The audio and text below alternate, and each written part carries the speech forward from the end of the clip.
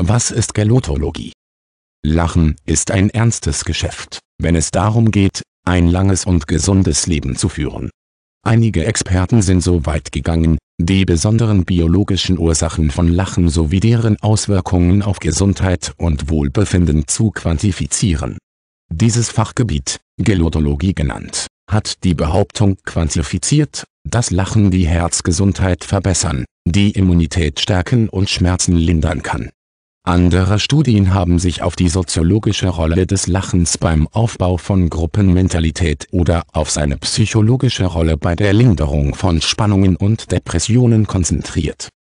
Ein Hauptbestandteil der Gelotologie ist die Untersuchung, wie und warum Lachen überhaupt auftritt. Aufbauend auf der konventionellen Weisheit, dass Menschen sich nicht selbst kitzeln können, haben wissenschaftliche Untersuchungen in den letzten Jahrzehnten zu Entdeckungen geführt, welche Teile des Gehirns für das Lachen verantwortlich sind?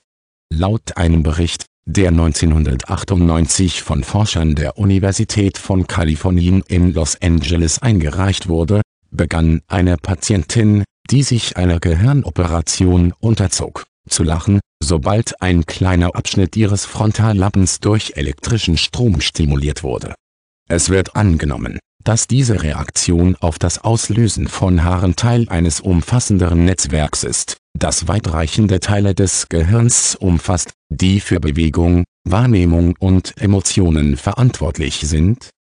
Ein weiterer Aspekt der Gelotologie ist, was überhaupt zum Lachen führt. In dieser Hinsicht häufen sich einige Lager, von denen einige glauben, dass die Genetik diese Art der Reaktion auf neue Reize eingebettet hat. Andere glauben jedoch, dass Lachen eher eine konditionierte Antwort auf eine Anzahl neuer Erfahrungen ist, von körperlichen Reizen wie Kitzeln bis hin zu subtileren Ursachen, etwa wenn etwas die Empfindungen auf die richtige Weise berührt. Unabhängig von den Ursachen gelangte das University of Maryland Medical Center im Jahr 2000 zu dem Schluss, dass Lachen und Sinn für Humor zu einer besseren Herzgesundheit beitragen können.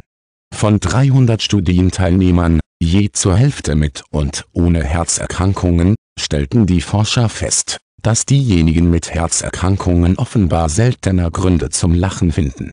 Andere Gelotologie-Studien haben auch gezeigt, dass komödiantische Umgebungen Stress, Schmerzen und Immunreaktionen verbessern können im Speziellen scheinen Gelächter und Unaufrichtigkeit dazu zu führen, dass der Körper weniger Katecholamenhormone freisetzt, die sogenannten Kampf- oder Flughormone, die Stress erhöhen und das Immunsystem besteuern können.